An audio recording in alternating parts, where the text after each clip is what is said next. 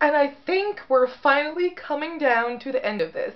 Hello guys, welcome, or if you've already seen my channel before, welcome back. I am the Philadelphia Whovian, and for this video we're going to be doing a countdown, a ranking, yes another ranking, and I think this might be the last one of this set of videos, where I've been doing rankings of classic Doctor Who writers who've written five stories or more. And with this one, I thought I was done with these lists. I thought I was, and then someone brought it up. They said, oh wait, there's Brian Hayles. Yes, friends, I forgot that Brian Hayles, or better yet, I just did not know, that Brian Hayles has actually written six classic Doctor Who stories. I just thought he wrote three. So I literally had to go back and fix another list I was doing where I was ranking all the Doctor Who one-off writers who have written one or three or four stories. So now that I know Brian Hayles has written six stories, we're now going to be going to a list of ranking Brian Hayles' stories, who is a man, he is a man who contributed very well, very, very well, to a large aspect of Doctor Who that we absolutely love, a lot of us in the fan base do enjoy. And we owe that to Brian Hayles. So without further ado, we're going to get into the list. Disclaimer right now, guys. Uh, it's not my fault. There's only five stories I can rank because one of his stories he wrote was called The Smugglers. It's, I believe, the second to last story or one of the last stories of the first Doctor. And it is completely missing. I have no way of seeing it. No way whatsoever. So as a result, I cannot rank it. But I can rank the top five. So we're starting at number five. From the first Doctor's era, we have The Celestial Toy Maker.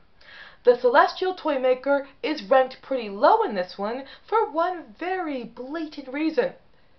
Most of it's missing. The only episode I could see was in my collection of the Lost in Time episodes of classic Doctor Who of the Patrick Troughton and William Hartnell era. And the only episode they have was the last episode of this, I believe, four-parter. So I only could see one of the episodes of this like three or four part story or something. So I can't really rank it that high because I don't know the whole story. So I'm doing the best I can here with limited limited resources. What can you do? But with the Celestial Toy Maker, um, I've heard some, like, you know, mixed things about it. With a story like this, there would be mixed reviews. We have First Doctor companion is Steve Taylor and Dodo. And the bit I did see, overall, even though it would never be the best story for me or my favorite story, I did very much enjoy a lot of aspects of it. The idea of them playing a game to the death, to get to the TARDIS, or for the Doctor to get them out of there, very entertaining. But also, the Celestial Toy Maker himself I greatly enjoy the idea of the Celestial Toymaker. Mind you, it could be because they cast the right actor to play the Celestial Toymaker.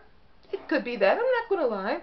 He did a great job playing him, but it's like with that and the Time Meddler, with the Daleks also and the Cybermen. The first Doctor's era was all about trying to give us villains who could become reoccurring.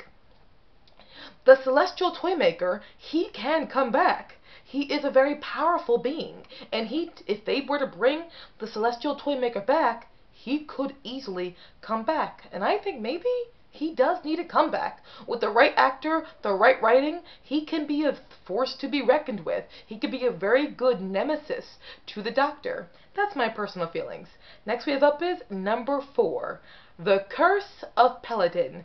This is from the third Doctor's era. I believe it is his the third um season of his Doctor. So the third season of the third Doctor. We have the Curse of Peladon. With the third Doctor and Jo Grant going to a place of Peladon, and Peladon is a planet that is choosing, where the king is choosing to be a part of the Galactic, you know, Alliance and the Federation, all that.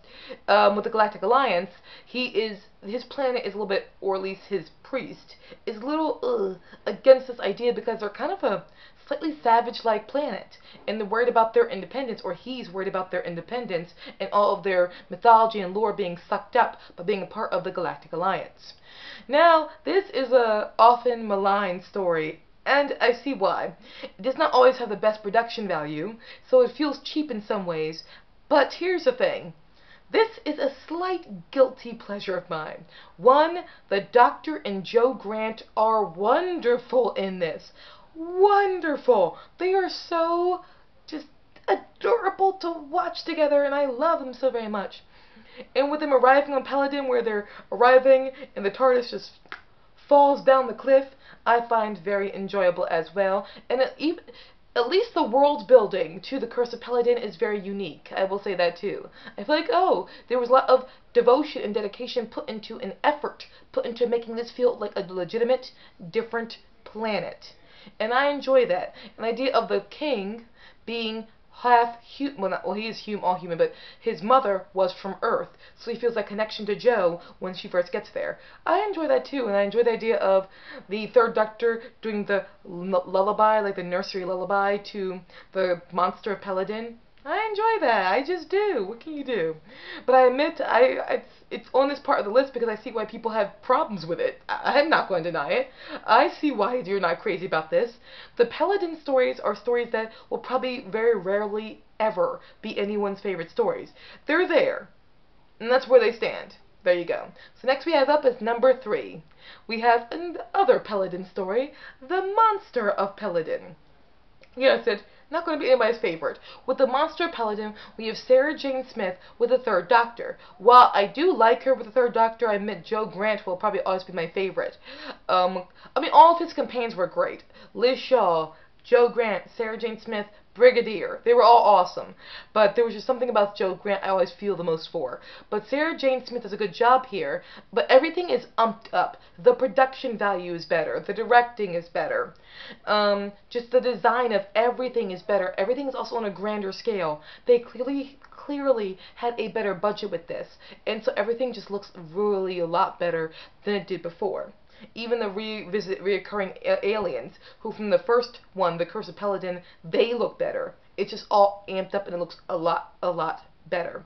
My only problem with this story is something I just don't like when it comes to morality, where there's a plan where the princess or the queen and Sarah Jane Smith and someone else are planning to escape, and they do almost with, but here's a problem. The queen, someone steps on her cape and she falls and then Sarah Jane Smith and the other person get away but the queen gets left behind. It's like Sarah Jane Smith, shouldn't you try to stay and help? I mean, I know why she didn't leave in some ways. I know why she escaped. But other ways, I'm like, well, it's a little cold. A little cold. But that's really subjective. Maybe she did not know that the queen was not following them. Or maybe she's like, it's more important for me to escape and help and solve this problem. The queen will not be killed. It's a little up in the air. But, you know, it's, it's one of those things where translate as you will.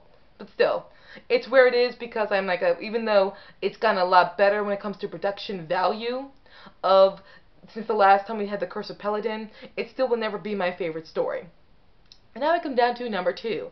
So we were at the third Doctor's era before, now we're going to the second Doctor's era. And this is what I mean when I say that Brian Hayles, he brought a lot to, or served a lot to Doctor Who because he introduced this new monster. At my number two slot, we have the Ice Warriors.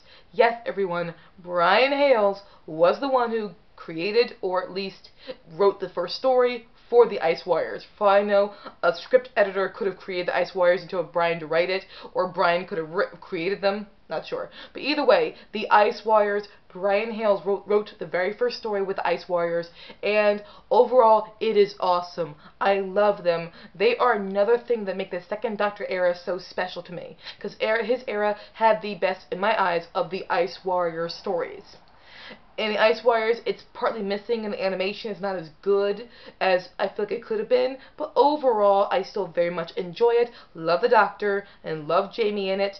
Victoria, there's a lot of screaming in it, but I still overall do enjoy her.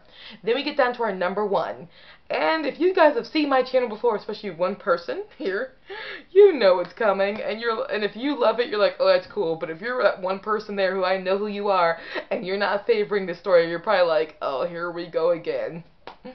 Yeah, number one we have from the Second Doctor's last season, The Seeds of Death me the ultimate ice warrior story. I love the seeds of death. It is just perfect to me. I mean, it has that one imperfection to it where like the doctor gets um, jettisoned, but then he still he's there in the ship somehow for some reason. Like he somehow got jettisoned out, or he got you know dematerialized, but he got materialized back in the ship. But outside of that, I've got really no problems with this. I also feel like that I, there's a prime example of the black and white of that time really working wonders for stories like this when it came to the first and second Doctor era. They added a feeling of fear and fright to it. It just the Ice Warriors really benefited by TV being black and white at the time. If you want a full longer review on the um, Seeds of Death, I have a whole video on it, but overall I just love it. I love the Doctor in it. I love Jamie and Zoe so much. I could just watch those three all day. What can you do? Yep, so the Seeds of Death will probably always be my number one Brian Hayles story. So guys, what is your favorite Brian Hayles story? Either way, I think we can all appreciate him for giving us the Ice Warriors, a villain who is iconic in Doctor Who. Thank you so very much, Brian Hayles.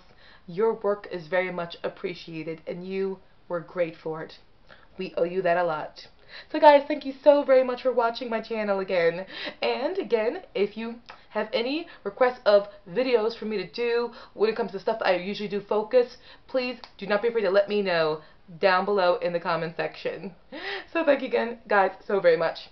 Peace out.